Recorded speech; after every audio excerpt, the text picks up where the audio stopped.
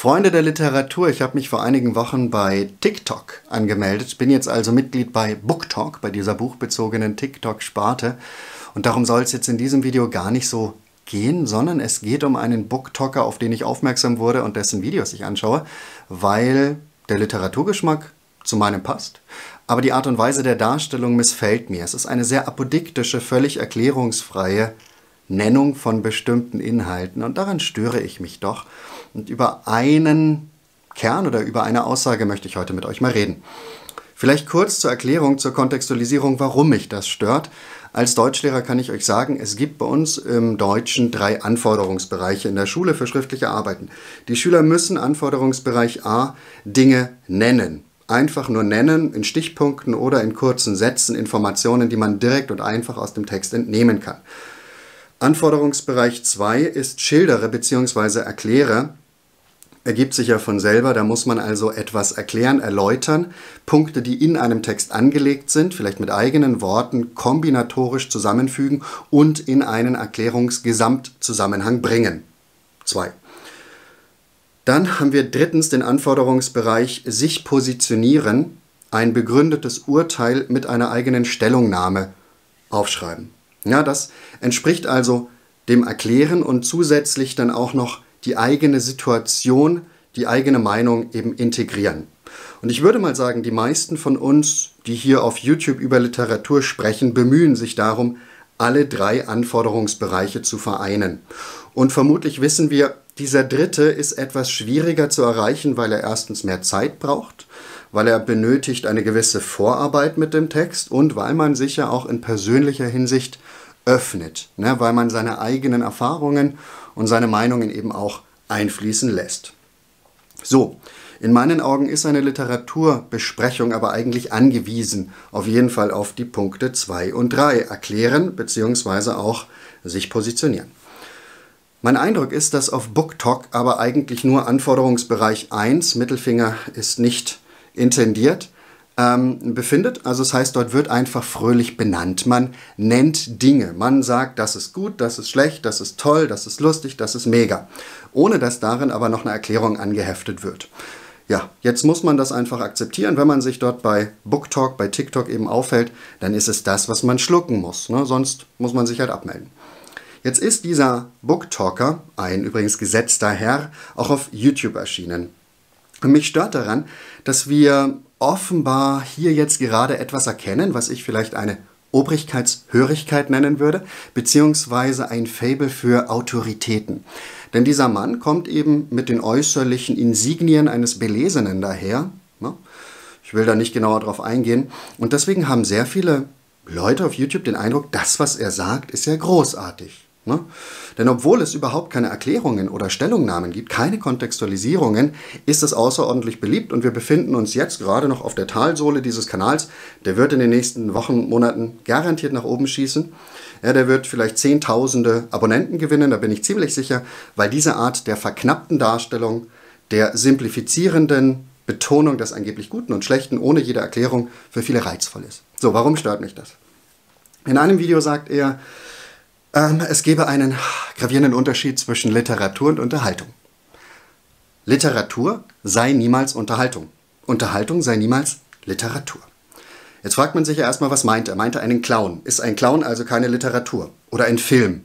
Eine Sketch-Folge?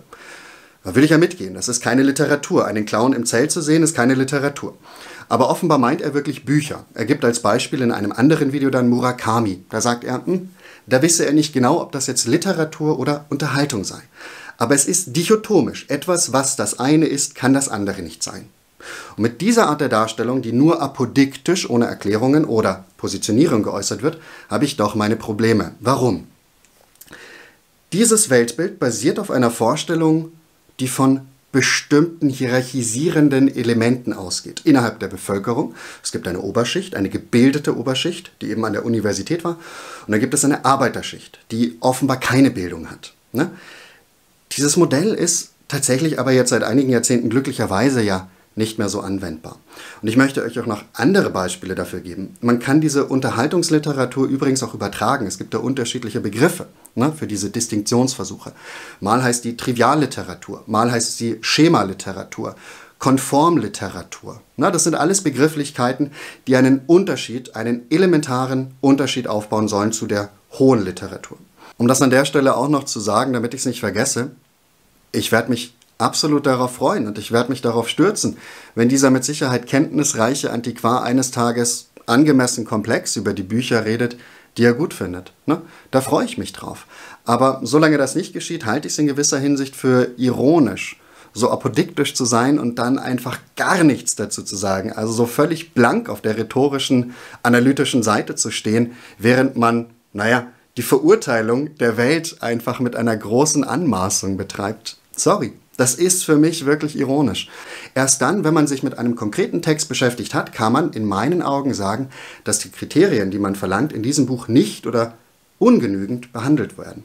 Sprachliche, kompositorische, thematische, referenzielle, alles das. Aber das muss man bitte erstmal beobachten und analysieren im einzelnen Fall. Denn wenn man das nicht tut, wenn man einfach sagt, 99% der Literatur spare ich auch, spare ich mir komplett aus, das interessiert mich nicht, dann ist man in dem Moment nicht intelligent und analysierend, sondern man ist einfach ignorant. Und das ist nun mal in meinen Augen etwas, was man tunlichst vermeiden sollte. Ich gebe euch Beispiele dafür. Häufig wird so getan, als sei die hohe Literatur dadurch gekennzeichnet, dass sie sprachlich und kompositorisch innovativ sei. Ganz, ganz wichtig, liest man immer wieder.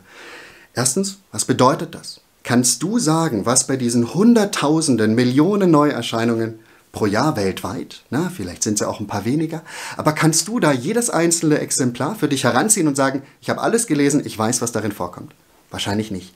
Wie kannst du dir also anmaßen zu behaupten, das sei innovativ? Kennst du denn irgendeine Literatur, zum Beispiel aus Kambodscha oder aus Venezuela? Könntest du dort ähnliche kompositorische Elemente vielleicht finden? Oder auch in Deutschland gibt es ja ganz viele Romane, die in kleineren Verlagshäusern veröffentlicht werden. Nein, kannst du nicht. Und in dem Fall handelt es sich dabei einfach um eine einmal gesetzte Vorverurteilung von Literatur, die du gar nicht kennen kannst. Ich gebe euch ein Beispiel. Literatur kann innovativ und gleichzeitig ganz grausam sein. Frederik Backmann, Kleine Stadt der großen Träume, ist eines der schlechtesten Bücher, die ich in den letzten Jahren gelesen habe. Ohne Zweifel, in meinen Augen, Schundliteratur. Das kann ich aber erst sagen, nachdem ich es gelesen habe. Es gibt hier aber innovative Sprachmittel, zum Beispiel eine Litotes in Kombination mit einer Hyperbel. Klingt doch allein schon genial, oder? Ich gebe euch ein Beispiel. Litotes, man verneint das Gegenteil dessen, was man sagen will. Hyperbel, die absolute Hochform, die übertriebene Form. Ne? In der Halle war die Stimmung nicht großartig. Es war die lauteste Stimmung, die man jemals wahrgenommen hatte. Der Döner schmeckte nicht lecker. Es war der köstlichste Döner, den man kaufen konnte. Das ist also eine innovative Sprache, das habe ich so glücklicherweise davor noch nicht gelesen. Ähm, Gerade in dieser Häufung ist es selten anzutreffen, aber das alleine macht das Buch noch nicht gut. Also eine Sprache kann innovativ sein, ohne dass das Ergebnis gut ist. Ne? Also die innovative Kraft, die erneuernde Kraft, ähm, sagt erstmal nichts über die Qualität aus. Und ich denke nicht, dass er der Erste war, Backmann, der das so benutzt hat, aber ich habe es sonst noch nie gelesen. Dann zeige ich euch aber auch mal ein paar Romane, die ganz klar zur Literatur, zur Hochliteratur zählen, die ich persönlich großartig finde, um es so auszudrücken, präziser auszudrücken und weniger apodiktisch ähm, die aber gleichzeitig total unterhaltsam sind. Und der bekannteste ist natürlich Tolstoi. Der Schwierigkeitsgrad bei einem Buch von Tolstoi liegt bei einem Punkt von zehn, wenn überhaupt. Das kann man ohne jede Schwierigkeit lesen. Das ist wunderbare Literatur. Und natürlich ist es unterhaltsam, diese Bälle zu erlesen, wie sich Menschen verlieben, wie sie miteinander in Gespräche kommen. Natürlich besteht das zum Teil aus der Sucht, aus der Lust des Menschen, ein Teil von einer hohen Geschichte zu sein und von einer hohen Gesellschaftsschicht zu sein. Ja, und dort eben wie ein kleines Mäuschen die ganzen Gespräche mit zu belauschen. Das ist durchaus eine voyeuristische, große, unterhaltsame Lust, die wir dabei haben, diesen schwerreichen Menschen zu begegnen. Und damit ist es natürlich auch eine Form der opulenten Ballliteratur. Menschen tanzen, Menschen ähm, treffen sich. Natürlich gibt es ganz viele andere Elemente, spannende Jagden. Auch dort, das ist abenteuerreich, actiongeladen, Freilich, Tolstoi wollte unterhalten. Das sieht man doch daran allein, dass die Kapitel so kurz sind, dass man es schnell lesen kann, dass es sich dem Lebensalltag auch anpasst. Ne? Das ist doch alles überhaupt kein Zeichen von schlechter Literatur, dass ein Autor sozusagen auch eine gewisse Einfachheit in seinen Texten ähm, eingeschrieben hat, was das Lesen angeht, aber auch was die Geschichte angeht. Also auch bei Jane Austen übrigens, wenn man jetzt darüber spricht, dass hohe Literatur immer nonkonformistisch ist. Ja, Emma hat durchaus feministische Ansätze, freilich. Es geht um eine intelligente Frau, die sich mit den Männern auch messen lassen kann in der Beschreibung und in der Analyse der Gesellschaft, in der sie lebt. Aber gleichzeitig ist das oberste Ziel der Frauen und auch von Emma, einen guten Ehemann zu finden. Ja, gut zu heiraten, Selbstverständlich ist das gesellschaftskonform, ja, von vorne bis hinten. Die sprachlichen Mittel sind innovativ, durchaus an mancher Stelle, gerade in Bezug auf das Veröffentlichungsjahr. Aber sollte da nicht auch vielleicht die gesellschaftliche Durchdringung eine ganz neuartige sein? Das ist es hier auf gar keinen Fall. Oder gerade lese ich von Ernst Jünger in Stahlgewittern. Ob das jetzt Unterhaltung ist, sei mal dahingestellt, ja.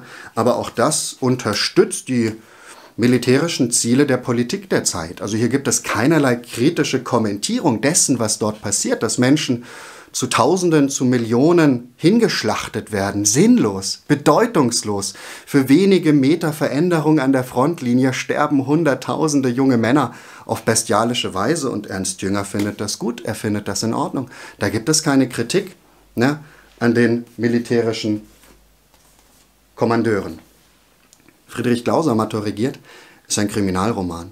Das ist sogar ein Kriminalroman, in dem vor allem die kleinen, die armen Leute, die einfachen Leute sozusagen beobachtet werden, beleuchtet werden. Ne? Also der Studer, der Hauptmeister Studer, der unser ja, Kommissar hier ist, der interessiert sich gerade für die einfachen, verhunackelten Leute. Also das ist jetzt auch nicht eigentlich die Hochliteratur, die sozusagen einen Bogen macht um jene, die nicht gebildet sind. Das hier ist definitiv eine Literatur, die man verschlingt, die sprachlich wunderbar ist, aber die kompositorisch oder vielleicht auch vom Menschenbild her jetzt nicht das erfüllt, was man von der Höhenkamm-Literatur erwartet. da geht es nicht um philosophische Exkurse, auch wenn die ein Teil dessen sind, denn einer liest hier auch Nietzsche. Aber wie das miteinander verbunden wird, mit actiongeladenen Spannungselementen eines Kriminalplots, das ist wunderbar, unterhaltsam und wunderbar. Gabriele Reuter aus guter Familie hervorragend und wird ja jetzt auch neu verlegt. Ähm, sprachlich innovativ? Nö, das haben andere zu der Zeit auch schon so gemacht. Ne? Es geht um eine junge Frau. Ihre Perspektive wird geschildert, es wird ja auch etwas über die Familie gesagt, über die gesellschaftlichen Zustände, aber immer in Bezug auf die Familiensituation und besonders auf die Berechtigung von jungen Frauen, Tätigkeiten zu ergreifen, zu lesen, Männer nach eigenem Gusto zu heiraten und so weiter und so fort. Kompositorisch und sprachlich ist das nichts Neues für die Zeit. Ende des 19. Jahrhunderts. Das hat zum Beispiel Fontane auch schon gemacht. Aber dennoch ist es natürlich höchst innovativ, weil sich plötzlich die Betrachtung wandelt. Es geht nicht mehr um die Perspektive eines Mannes, sondern es geht hier um die Perspektive einer Frau, die natürlich nochmal andere Elemente stark machen kann, die einen anderen Blick für Details hat. Ne? Auch deswegen kann Literatur hohe Literatur sein, obwohl sie sprachlich oder kompositorisch durchaus nicht innovativ zu sein hat. Oder Solaris von Stanisław Lem. Ist es nicht unterhaltsam, dass sich hier dieses Plasmameer immer wieder einzelne Menschen oder Flugzeuge schnappt? Ist es nicht eigentlich fast schon Kolportageliteratur? Ist es nicht eigentlich eine fast schon schlecht gemachte, nur auf Effekte zielende Literatur für die Minute, bei der nichts nachbrennt? Nein, natürlich nicht weil dieses Buch gekonnt eben verschiedene Elemente miteinander mixt und deswegen auch hier diese apodiktischen Setzungen, diese absolut dichotomisch getrennten Ebenen, Hochliteratur, Unterhaltungs-, Trivialliteratur, die lassen sich einfach so nicht halten. Und was ich jetzt mit diesen zahlreichen Literaturbeispielen ausdrücken möchte, ist die Tatsache, dass man diesen Schematismus in Bezug auf die Qualität von Literatur nicht anwenden kann.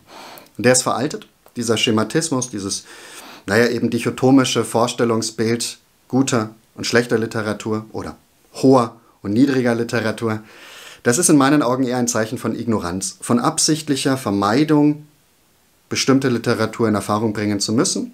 Und weil man weiß, dass es zu viel davon gibt, verurteilt man einfach ganz, ganz vieles, bleibt bei dem, was man kennt und erhöht das. Na, und dann versucht man mit bestimmten, auch unhaltbaren Kategorien Qualität von minderer Qualität zu sondern. Aber in dem, was ich jetzt gerade sage, bin ich schon wieder 15 Schritte weiter als das, was im Video ursprünglich zur Sprache kam. Denn wie gesagt, Anforderungsbereich A, weiter geht es ja nicht, nur nennen. Also dieses ganze Erklären fehlt einfach. Und ich würde euch immer bitten, ich weiß nicht, wenn wir wirklich eine dauerhafte Literaturbesprechung ermöglichen wollen, dann bitte weist mal Leute darauf hin, erklär doch mal was. Schilder doch mal, was du meinst, erläuter doch mal deinen Punkt oder positionier dich sogar, gib mal eigene Erfahrungswerte. Denn das, was dort geschieht, ist in meinen Augen eher ähm, ein sicheres Zeichen dafür, dass mit den Emotionen der Zuseher gespielt wird. Ne? Wir alle schätzen es natürlich, wenn einfache Antworten präsentiert werden. Sicherlich gibt es dort viel kulturpessimistisches Volk, das dann, naja, völlig erpicht darauf ist, diese Antworten zu hören, wie die Gegenwartsliteratur sei kompositorisch, sprachlich nicht in der Lage, irgendwas Neues zu erwirken, was natürlich in dieser grandiosen Allgemeinheit fast schon ein peinlicher Satz ist. Aber das stört ja viele zu sehr auch nicht, ähm, denn wir alle wollen uns eigentlich in unseren einmal gesetzten Vorurteilen auch wiederfinden. Und ich halte das für einen ganz gefährlichen Zug. Abschließend will ich noch betonen, wie wichtig es ist, dass jeder Mensch seine eigene Meinung über die Literaturlandschaft als Ganzes und über einzelne Werke haben darf und haben soll. Das nehme ich natürlich für mich auch in Anspruch und möchte daher kurz betonen, dass ich es doch gefährlich finde, was manchmal auf anderen Plattformen, gerade auf TikTok, BookTok, passiert. Ja, und was so rüberschwappt. Denn wenn ein Mensch so apodiktisch und ohne jede Erklärung über Literatur urteilt, dann hat es natürlich bei Zusehern den Effekt zu denken, dass das eine probate Möglichkeit ist, dieser Komplexität von Büchern gerecht zu werden.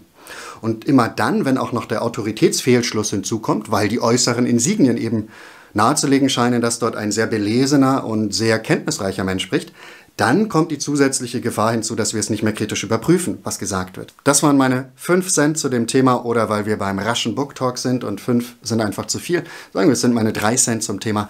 Ja, und damit wünsche ich euch noch einen wunderschönen Tag. Macht's gut, bis bald. Ciao, ciao.